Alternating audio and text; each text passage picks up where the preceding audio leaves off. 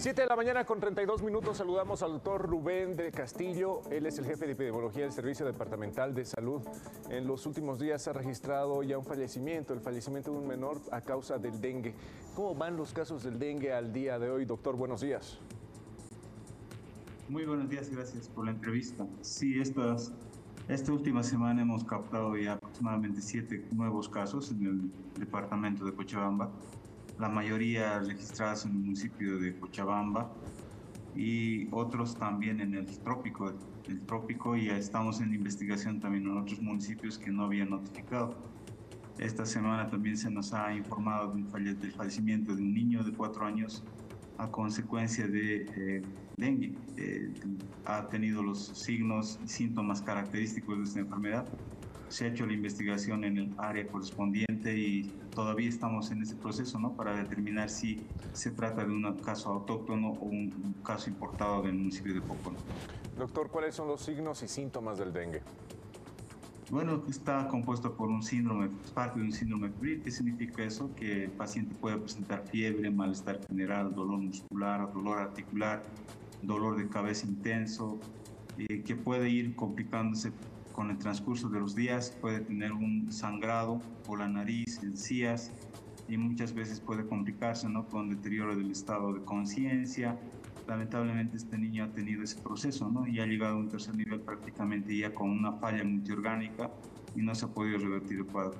Y nuestras recomendaciones eh, a la población apenas comience signos y síntomas, cualquiera sea de estos, acudan a un centro de salud más cercano a su domicilio para recibir orientación médica y obviamente para hacer también el manejo clínico correspondiente. A ver, para conocimiento de la población, doctor Castillo, ¿cuál es el tratamiento que se aplica, cuándo eh, se evidencia y cómo se confirma que es dengue además?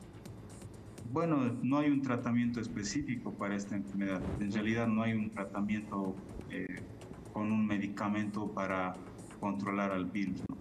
El manejo clínico es simplemente la hidratación de forma oportuna y precoz. ¿Qué significa eso? Eh, generalmente la deshidratación es lo que mata y complica al, paciente que enferma por dengue. Entonces, al reconocer estos signos y síntomas, ya el médico sospecha de la enfermedad y puede eh, recabar algunos medios, como por ejemplo utilizar las pruebas de laboratorio para hacer un diagnóstico correspondiente y llegar al diagnóstico eh, específico.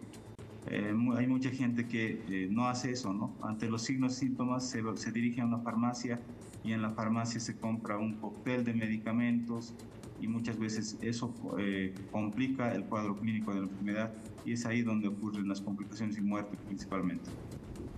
Bueno, doctor Castillo, muchísimas gracias. A ver, eh, antes de finalizar la entrevista y aprovechando el contacto que tenemos con usted, eh, ¿cuáles son las acciones que se tienen que tomar, que tenemos que tomar como ciudadanos, como pobladores, para combatir el dengue y además qué acciones va a asumir el CEDES?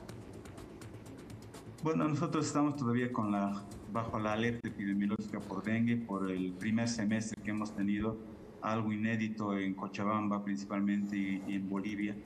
Eh, de los más de 7.900 casos que tenemos hasta ahora. Eso todavía nos pone en alerta, ¿no? En este periodo que estamos ya ingresando a, una, a un epidémico desde octubre, noviembre y diciembre hasta, el, hasta abril del siguiente año. Recomendamos a la población, ¿no? La mejor medida de controlar la proliferación vectorial, es decir, la eliminación de este mosquito, es trabajar desde la casa destruyendo criaderos. ¿Qué significa eso? Volteando los recipientes con agua que no se va a utilizar buscando dentro del domicilio eh, algunos floreros, recipientes inservibles que muchas veces acumulan agua todavía y esos son los, los criaderos, al igual que sumideros, canaletas que en este periodo están todavía tapadas y cuando llegue la época de lluvias van a, se van a volver eh, criaderos también para este insecto. Entonces, esa es la tarea y nosotros como sedes estamos haciendo también de intervención, acompañando a las áreas de salud que tenemos en cercado, principalmente donde se ha producido la mayor cantidad de casos, haciendo y acompañando las tareas de destrucción de criaderos, bajo un cronograma también establecido. Perfecto, doctor Castillo, muchísimas gracias. Hemos conversado con el jefe de epidemiología del Servicio Departamental de Salud de Cochabamba. Hemos hablado sobre los casos de dengue que se registran el departamento. ¿Quiere repetir esta entrevista? Visite ATV Digital. Continuamos.